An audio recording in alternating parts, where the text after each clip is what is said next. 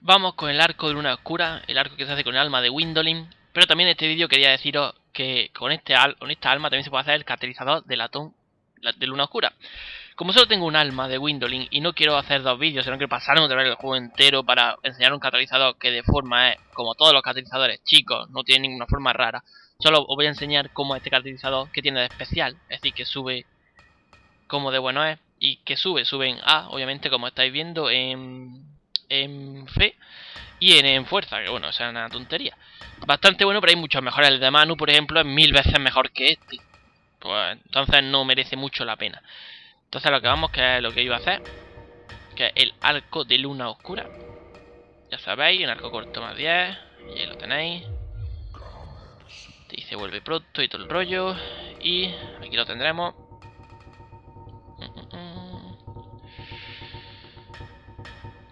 Aquí está. Como veis, 85-85. Suben E, D y D. Ahí como veis, está perfecto. Y aquí tenéis la historia. Uno de los mejores arcos, por no decir el mejor. Que si tiene flecha de luz de luna, va bastante mejor, quita bastante más. Pero bueno, tampoco es algo que... Aquí lo veis, como es. ¿Para qué hago eso?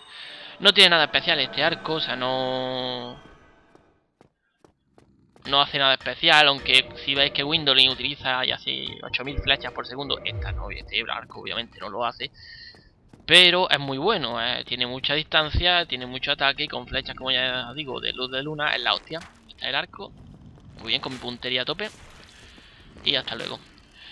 Y poco más de este arco, poco más que decir, así que en este vídeo ya habéis visto las dos, los dos objetos que se pueden hacer. El catalizador no es mucho más diferente, yo lo he visto y no es mucho más diferente que el de este donde está me acuerdo del nombre, pero ahora mismo lo digo, sí, que el marfil de fácil.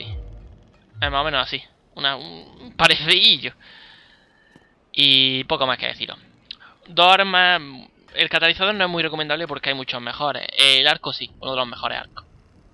Y la guadaña del cazador que mm, se hace con el arma de Priscila del mundo pintado de Arami.